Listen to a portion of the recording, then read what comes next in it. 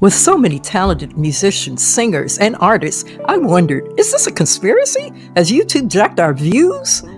Hey there, music people. Today I'm going to give you 10 tips to boost views on your small music channel.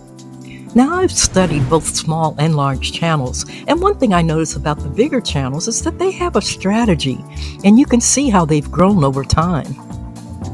Although this is a constant learning experience, I hope to answer some questions like I had myself just to get the ball rolling. So let's go! Number one, define your niche. The bottom line is this is going to help you to pinpoint exactly who your audience is. So just find your unique style or genre and just stick to it. Whether it's acoustic covers or original compositions or even music tutorials, carving out a niche helps you to stand out in the vast sea of content. Number two, optimize your titles, tags, and descriptions. Now, this is something I'm constantly learning but using descriptive and keyword rich titles, tags, and descriptions will improve the discoverability of your videos. Research popular keywords related to your content and incorporate them strategically. Number three, create eye catching thumbnails.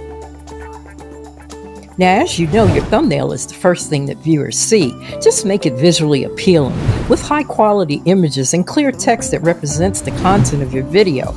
A great thumbnail can increase your click through rates. And if you're not that good at designing thumbnails, you can hire someone from Fiverr. I'll include the link below in case you've never heard of them. And just on a side note, you will have to test out different thumbnails because you got to see what works. I do notice in the music industry, you can just take a picture of you being on your instrument and it can be just as effective as another thumbnail. So just test out different ones to see what works. Number four, consistent branding. Now, develop a consistent visual identity for your channel, including a logo, colors, and graphics. Branding helps create a memorable impression and builds trust with your audience. And number five, engage with your audience. Now, it's very important to respond to comments and ask for feedback and encourage viewers to like, share, and subscribe. That will build a community around your channel, which fosters loyalty and it encourages the viewers to return for more content. Number six, collaborate with other creators. Collaborating with other YouTubers or musicians exposes your channel to a wider audience, so look for creators with similar interests and complementary skills and explore opportunities for collaborations. Number seven, utilize social media. Now, you definitely need to promote your videos across social media platforms like Instagram, Twitter, and Facebook. You can share teasers, you can share behind the scene footage, or sneak peeks to generate interest and drive traffic to your channel.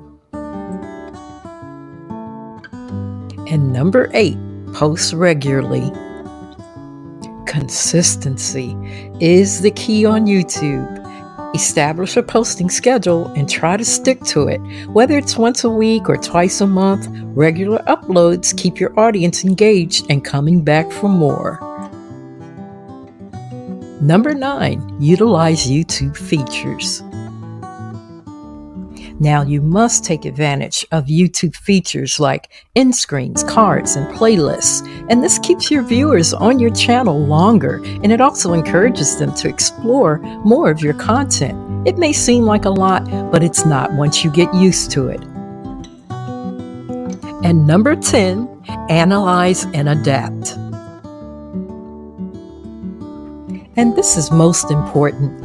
You've got to pay attention to your analytics and you've got to kind of see what's working and what's not. You can track your metrics like your watch time, your audience retention, your click through rate. You identify the patterns, and then all you have to do is just adjust accordingly.